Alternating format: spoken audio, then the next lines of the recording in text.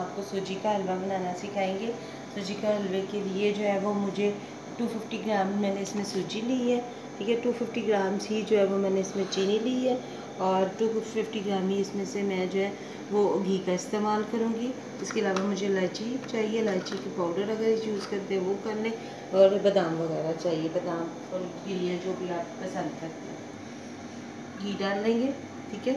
ये तकरीबन 250 ग्राम मैंने डाल दी है। इसमें मैं इलायची डालूँगी। इलायची अगर आप पूरी पसंद करते हैं तो पूरी डाल लेंगे ठीक है? और एक इलायची जो है वो मैं शीरी में भी डालूँगी। के लिए हम पानी जो है, वो तीन गुना लेंगे। यानी 250 फिफ्टी ग्राम अगर हमारे पास सूजी है तो उससे ट्रिपल जो है, वो हम, यानी 750 ग्राम जो है, वो हम पानी लेंगे, ठीक है? पानी में मैं जो एक कप, यानी 250 ग्राम चीनी है, वो डाल दूँगी, ठीक है? और साथ में इसमें इलायची पूरी डाल दूँगी क्योंकि इलायची। हम लोगों को ऐसे पसंद है और साथ में चम्मच हिलाती जाऊँगी।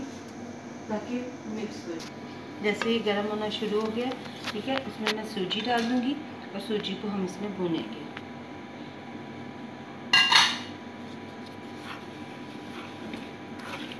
पाँच मिनट तक तकरीबन इसमें भूनेंगे इसको हम। और उतनी देर में ही हमारा शीरा तैयार होगा। थोड़ा सा फ़ूड कलर डालूँगी पिंक कलर का। फ़ूड कलर से बहुत प्यारा उसका कलर आ जाएगा। तकरीबन पिंच जो है वो मैं इसमें डालूँगी। उसी से जो है ना बहुत खूबसूरत इसका कलर आ सकता आ जाता है। इसे अच्छी तरह से मिक्स कर लूँगी ताकि चीनी भी जो थोड़ी सी रहेगी वो मिक्स हो जाए और ये भी सारा मिक्स हो जाए। ये देखिए इसलिए जो है खुशबू आनी शुरू हो गई है और जो है सूजी वो पकना शुरू हो गई है, ठीक है? इसे हम, इसमें भी कलर डाल सकते हैं और हम अपने शीरे में दोनों में अब जो है वो डाल सकते हैं।